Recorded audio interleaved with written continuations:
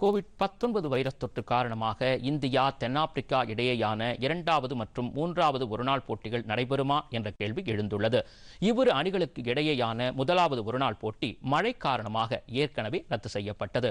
Covid 19 virus தொற்று அச்சம் காரணமாக ஏடிகே மற்றும் சென்னையின் எஃப்சி அணிகளுக்கு இடையே ஃபட்டோடா நகரில் நடைபெறுவதாக இருந்த இறுதிப் போட்டி ரத்து செய்யப்பட்டுள்ளது. ராஜ்கோட்டில் நடைபெற்று வரும் ரஞ்சி கோப்பை கிரிக்கெட் போட்டியில் சௌராஷ்டிரா பெங்கால் இடையிலான இறுதிப் போட்டியின் ஐந்தாவது நாள் ஆட்டத்தை நேரில் காண ரசிகர்களுக்கு அனுமதி மறுக்கப்பட்டுள்ளது. போட்டியை நடத்தும் கிரிக்கெட் சங்க நிர்வாகிகளும் ஊடகத்தினரும் மட்டுமே அனுமதிக்கப்படுவார்கள் என்று தெரிவிக்கப்பட்டுள்ளது. கோவிட் 19 வைரஸ் தொற்று காரணமாக மத்திய விளையாட்டு மற்றும் இளைஞர் நலத்துறை அறிவுறுத்தலின்படி அனைத்து லீக் கிளப் நிர்வாகிகள் கூட்டத்தை அகில இந்திய கால்பந்து ஃபெடரேஷன் நிறுத்தி வைத்துள்ளது.